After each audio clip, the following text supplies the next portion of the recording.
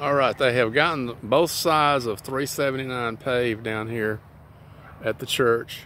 And there's Turkey Creek right there, the bridge of Turkey Creek. And they have the road striped now. They have a yellow double line all the way down the road now. No passing. Cars sound like they're not blum blum blum blum blum blum coming down the road now.